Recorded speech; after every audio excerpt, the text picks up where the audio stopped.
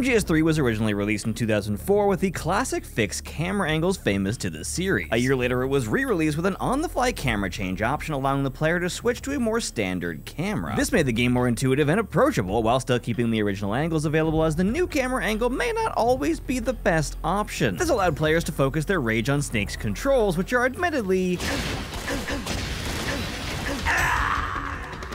unintuitive? Holding the right bumper will change to first person, holding X to aim your weapon and firing by releasing it? Huh? Snake can walk and crawl, or I guess snake, but he can't move while crouching. Oh no, I can't move while crouching. Yes, pushing forward while crouching puts you into a crawl, and this seems so bizarre, but this is one of the core elements that makes this such a fun and challenging stealth game. Crawling, walking, and running all make noise, preventing you from just gliding up on your enemy. Instead, you'll have to use the D-pad to move super slow, pushing you to find better opportunities by learning patrol paths, sneaking past enemies entirely, or getting within range and just booking it to your dance partner.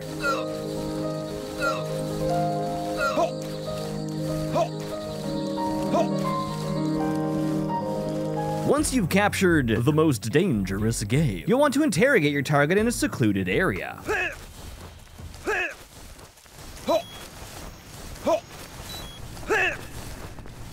At this point, enemies will often tell you things you may not know, Past wire traps by crawling. or perhaps never considered. The Freedom of the West. Is it really all that good? Oh wow, you know, I just, I guess if you think about it, Speak. but maybe you don't have time to talk. Just be sure to pick up that body and move it out of sight, or just shake some things loose. Sneaking around in bushes, under buildings, or inside trees will change your perspective to first person, adding a really nice balance to all your stances. Standing is for sneaking, crouching is for shooting, and prone is for concealment of you and your enemy. Now I hear you saying, but Mitch, how do I make enemies go to sleep from far away? Very suspicious thing to ask, but for that, I would use the MK22 Tranquilizer Dart Gun. The camera's over here, Snake? Yep, you got it. Headshots knock out enemies instantly. Anywhere else would just take some time. For a more lethal option, the M1911 kills enemies dead. But its iron sights are harder to use, and enemies you kill might come back to haunt you. For either option, you'll want to ration your bullets and suppressors, which degrade with weapon use. I like this. This is very cool. But hey, if subtlety isn't your thing,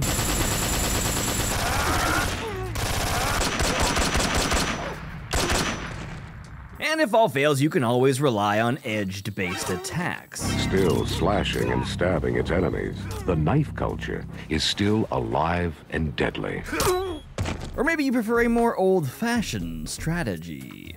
What's that box? Uh, just a regular cardboard box here. Nothing to see here. Or perhaps you're more of a gadget person and you enjoy watching your enemy from afar, smoking a cigar, seeing in the dark when they cannot, detecting mines well spaced apart. I have fallen, and I choose not to get up. All this sneaking and killing can really wear a man down, so you'll need to spend some time hunting animals or collecting food to sustain your stamina. Crazy. The fun is catching its mousetrap.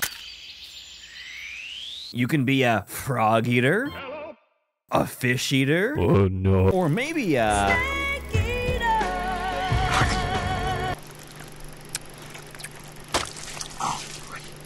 You can keep a surprising amount of food in your backpack. But over time, certain things will go bad. This includes poisonous animals you can leave out for your enemies to eat. But this only works if you blew up the food storage building earlier. And that is just a surface level detail compared to how intricate this game can get. I'm talking multiple entrances to compounds, crawling sometimes required. Optional areas with extra goodies, climbing sometimes required. Hidden items behind objects, shooting barrels sometimes required. The sheer amount of little details is incredible, and one of my favorites is this scientific stealth meter which changes based on how lit you are, what surface you're on, how fast you're moving, and what stance you're currently in. Every stealth game has this, it's just not visible, and allowing the player to see it gives them certainty on decisions that they make. Rather than give you a specific camouflage for each mission or area, they give you a bunch right off the bat. And it's up to you to choose which one works best. And you can even change face paints to match. You've got snow face, green face, and black all of this information makes MGS3 really stand out as other stealth games generally lean towards hidden and not. In specific instances, you can even disguise yourself as a scientist, avoiding other scientists while looking soldiers dead in the eye and blowing knockout gas from your cigar. What's wrong? What's wrong? This also works on spiders. Start? I don't feel so good. Snake's support crew, a stereotypically diverse group of specialists, can be called in at any time through his radio. Yo, you Snake, aren't you? You can save the game by calling Paramedic, who then proceeds to tell Snake all about era-appropriate movies she's seen, most having an obvious nuclear bomb-related message adding to the game's themes. Of course, Snake hasn't seen any of these movies because he's out doing, like, uh, real guy shit. You can also use this radio to dial in frequencies learned from enemies. Radio 148.66.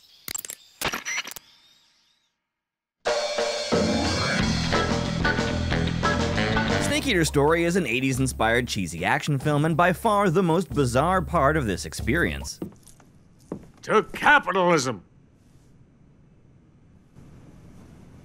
This is the origin story of Big Boss, or in Japanese, Big Bossy. On top of being an all-around cool guy, Snake also invented several new ways to do things people were already doing just fine, like holding a gun, climbing upstairs, and getting kicked while he's down. Played by David Hayter, trying to sneak around, but I'm dummy thick. Snake's iconic groggly voice has become a staple of the franchise, And the clap of my ass cheeks keeps alerting the guards. as well as his constant need for answers. Snake, what do you mean? Thunderbolt. What are you doing here? What is this? Snake is on a mission to kill the boss, a defector of the United States, as well as his mentor, mother figure, lover, and poncho wearer. Every time Snake encounters the boss, she absolutely dummies him.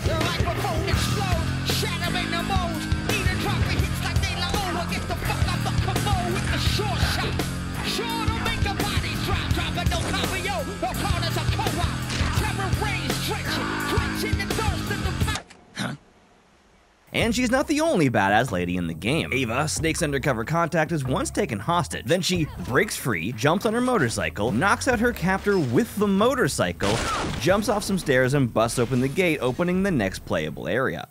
It's pretty cool, I guess. Now, I probably should have mentioned her captor is Snake's equal, Ocelot, full-time master marksman and part-time cat. Yes, that is the actual sound he makes when he signals his team. After an encounter with Snake, he takes his advice and switches to three revolvers, taking to spinning them like a circus clown. He actually gets so good at this, he's able to kill bees.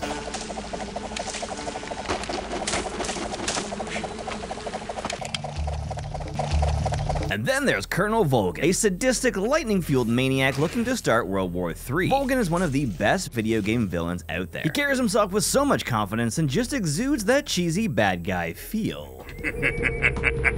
Very well.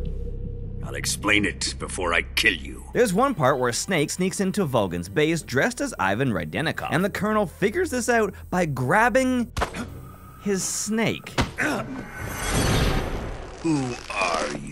Oh, naked snake, solid snake. Throughout his journey, Snake encounters the Cobra Squad, an elite group of enhanced thes. The pain, the fear, the end, the fury, and the sorrow. All of which Snake battles throughout arena-style boss fights, all of which die in totally normal ways.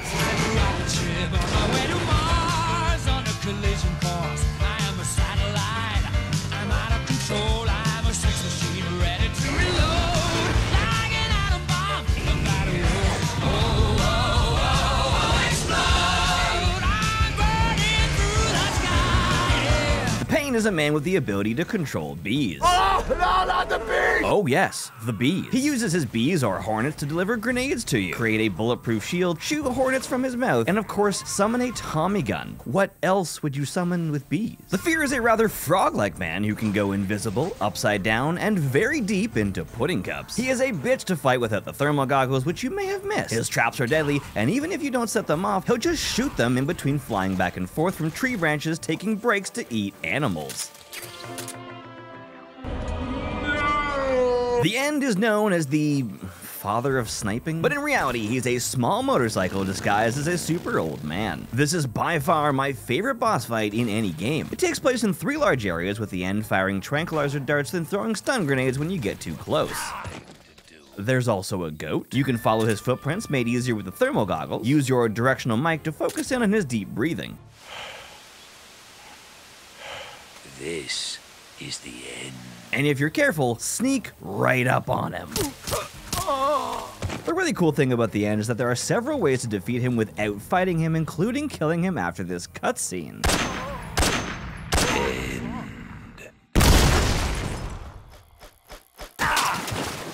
The Fury, however, is my least favorite. He walks around slowly, setting entire hallways ablaze, jetpacking around, leaving fire in his wake, picking up on the smallest sound, and frustrating the hell out of Mitch.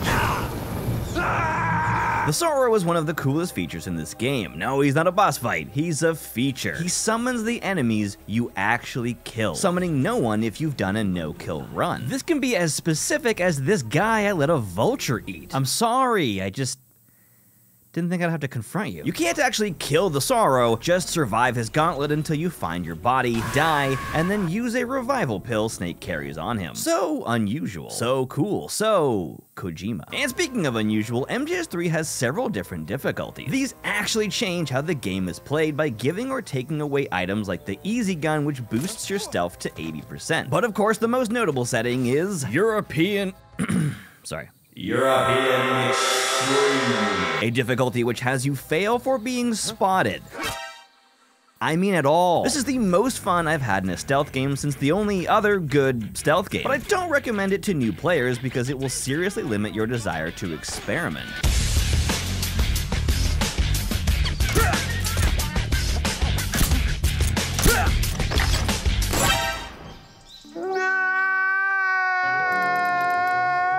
This brings me back to the real draw of MGS3. The ridiculous, often convoluted amount of specific things that can happen is wacky. Later, if you stab an animal, it shows up in your inventory to be eaten, but if you use a fork, Snake instantly eats it. If you blow up this helicopter near the beginning of the game, then it will be replaced by these flying bucket men. Bucket man. If you call paramedic while in combat, she doesn't tell you about a movie, she just says good luck. If the fear gets you with a bolt that you don't pull out before leaving the fight, the wound will heal and the bolt will be visible for the rest of the game. You can get flashbang by enemies, or hide under the bed, throw a grenade causing them to drop their flashbang, and still get flashbang by enemies. And of course the long, long ladder scenes. But nothing tremendously cool happens here. If you haven't figured it out by now, the answer is Everything about this game is what makes it so special. Every single item, voice line, level design element, sound effect, character, and difficulty setting. MGS3 was lovingly handcrafted to give players who really get invested in this game the most unique and unforgettable experience a game can give. MGS3 combines a charming art style with overly serious and campy characters. It has a perfectly difficult control scheme that keeps stealth fresh and exciting, and it has intricacies you won't fully understand until your third or fourth playthrough. Metal Gear Solid 3 Snake Eater Subsistence HD Edition, a Hideo Kojima game, is not a huge game. But its ideas are.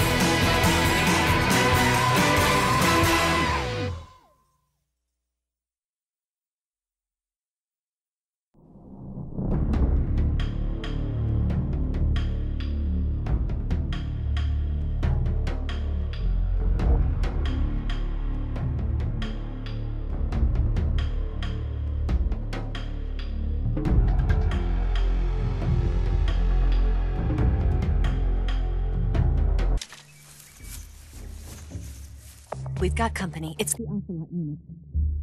Let's get out of here. Hurry.